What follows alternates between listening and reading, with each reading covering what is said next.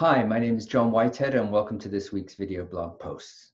I'm a leadership and executive coach and I work with a number of organizations and specifically with senior and emerging leaders in those organizations.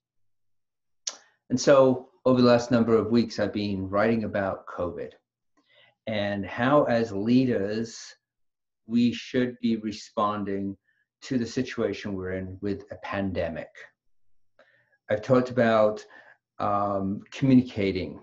I've talked about the, the new, what the new normal might be. So f- we had COVID, the pandemic, and now we have the knee. And things shifted again. And the news shifted from the worldwide pandemic to racism and I was going to say racism in the US, but it's not just the US, it's everywhere. And in Canada, where I am, we have had uh, a national dialogue on the fact that it is here as well. That racist remarks, racist comments, we have them here too.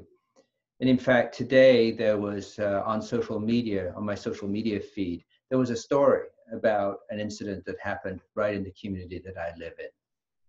And so it is around us. So as leaders, what do we do? What's there's a struggle here. There's a struggle um, because one of the challenges we have, and I was reading an article about um, some of the tweets and social media uh, releases that have been made by top corporations. And when you look at the list of corporations, I think in the top that list are big ones, and we're talking, you know, Nike and uh, big retail operations, Walmart's and those type of businesses. They're white. There's very few non-white CEOs or leaders, and if there are a few, they're just a smattering.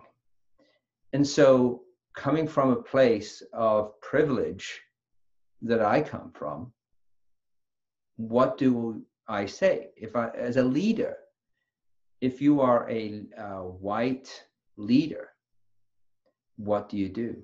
What do you say? And I think saying nothing is not what to do. Because there, I, am not sure of the quote, but somebody was once quoted as saying that if you are if you remain neutral you're actually um, supporting the wrong side. And i think we've probably seen that in history time after time.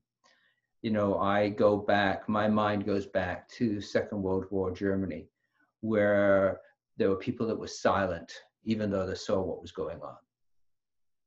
And we even see that that here that people are silent I've seen comments about uh, from people saying that they will no longer be silent. They know that, this has been the moment for them when they've seen what's happening.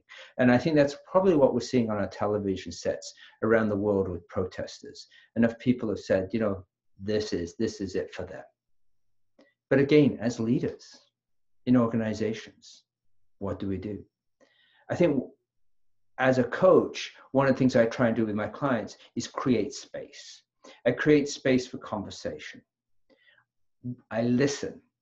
As a coach, I listen. I, I get curious and I ask questions. So maybe that's what we do. One of the organizations that I'm connected with, that's what we did yesterday morning. Uh, we had a telecom Zoom conference everybody's having Zoom conferences right now.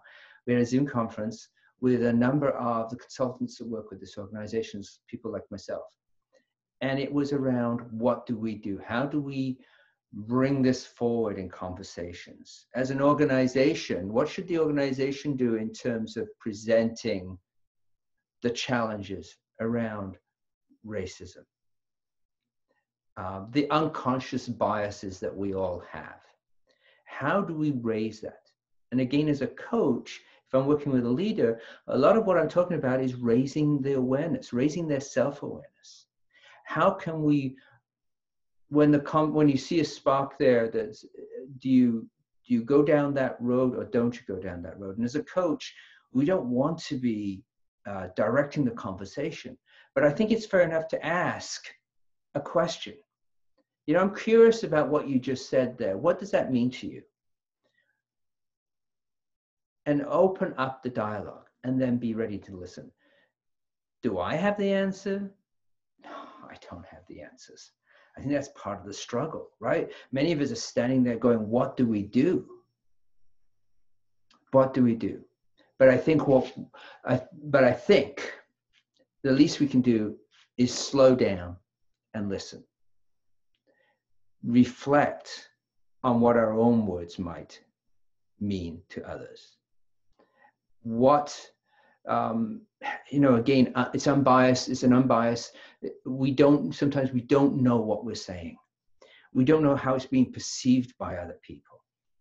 So we need to raise that consciousness about that. So create space. Create space for dialogue.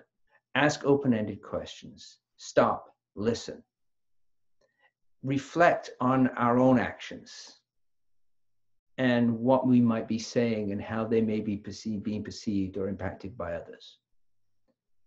That, I think, is what helps us be better leaders and maybe better humans. Something to think about.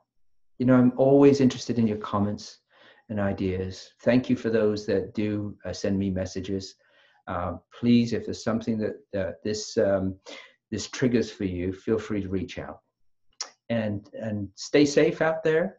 As uh, uh, Dr. Bonnie Henry, our chief medical advisor here in British Columbia, says, um, stay safe and be kind.